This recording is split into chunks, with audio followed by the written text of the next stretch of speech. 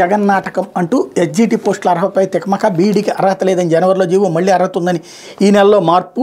ఇప్పుడు సుప్రీంకోర్టు తీర్పునికి ఒక్కరి భాష్యం కోర్టులో కేసు వేసిన డిఏ అభ్యర్థులు ఇప్పుడు మరోసారి సర్కారు యూటర్న్ డిఎస్పీ డిఎస్సి జాప్యానికి ఎలా చేస్తుందో ఏకాగ్రత కోల్పోతున్న అభ్యర్థులు అన్నటువంటి కోణంలో దాన్ని నిన్న ఇచ్చినటువంటి తీర్పుని వక్రీకరించి రాసుకొచ్చింది. లేకపోతే ఇసుకాసలు ఇష్టారాజ్యం అన్నటువంటి వార్త వీళ్ళు కూడా హైలైట్ చేశారు.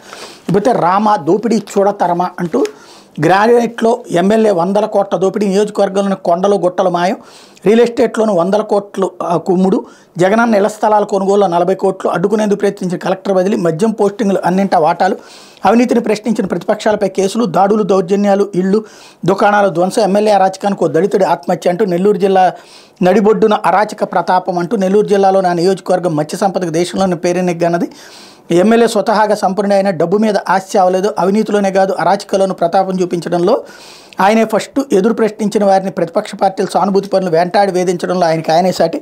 ఎమ్మెల్యే మామూలు భాగవతం గురించి జిల్లాలో ఎవరిని అడిగినా కథలు కథలుగా చెప్తారు. ఇంతటి అవినీతి పనులు ఇదివరకు ఎక్కడా చూడలేదంటారు అంటూ ఏదైతే ఇట్లాంటి వార్తే నిన్న రామసుబ్బారెడ్డి వాళ్ళు వెళ్ళి ఈనాడు మీద దాడి చేసింది లేకపోతే మొన్న ఆంధ్రజ్యోతి వాళ్ళని కొట్టింది.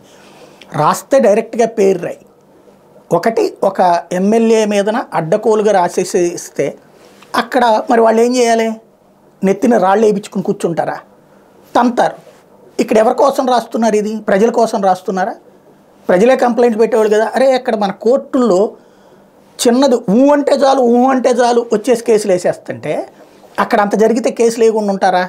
లేదు తెలుగుదేశం వాళ్ళు చూస్తూ ఊరుకుని ఉంటారా? లేదు జనసేన వాళ్ళు చూస్తూ ఊరుకుని ఉంటారా? ఉద్యమాలే జరుగుండే కదా.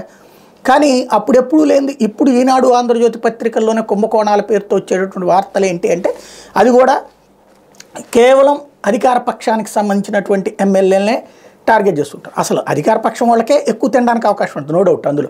ప్రతిపక్షం వాళ్ళకి తినడానికి అవకాశం ఉంటుంది తింటే కనుక అధికార పక్షం వాళ్ళు వాళ్ళని పట్టుకుంటారు నో డౌట్ అందులో. నేను కాదన్నది. అయితే అసలు సమస్య ఏంటంటే ఈ విషయాలు ఏదో డైరెక్ట్గా పేరుతో రాస్తే అప్పుడు పరువు నష్టం దావా వేస్తే ఫేస్ చేయడం మన దగ్గర ఉన్న ఆధారాలతో కోర్టులో ప్రూవ్ చేయొచ్చు. లేదా అప్పుడు ధైర్యంగా ఎవడు ఏం పీకలేడని చెప్పచ్చు. కానీ ఇట్లా అన్యాపదేశంగా రాయడం అక్కడ ఉన్న ఎమ్మెల్యే మీద ఒక నెగిటివిటీ క్రియేట్ చేయడానికి. ఇంతకుముందు పోనీ తెలుగుదేశం టైంలో అట్లా రాశారా? అప్పుడు ప్రభుత్వంలో ఉన్నటువంటి వాళ్ళే కదా. అప్పుడు మరి రాసుంటే ఇప్పుడు రాసేదానికి ఒక అర్థం ఉంటుంది. కాకపోతే అలాగేం లేదు. ప్రస్తుతం జరిగేటువంటిది. ఈవెన్ నేను మన సాక్షిలో రాస్తే తెలుగుదేశం ఎమ్మెల్యే గురించి రాస్తే కూడా అదే మొక్క చెప్పా.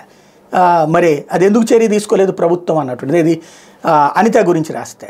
ఎప్పుడైనా సరే నిజాయితీ అనేది లోపించినటువంటి జర్నలిజానికి సంబంధించినటువంటి సజీవ సాక్ష్యం ప్రస్తుతం రాస్తున్నటువంటి వార్తలతో నడుస్తుంది. దాని ఇంపాక్టే ఇప్పుడు గొడవ కనబడుతుంది.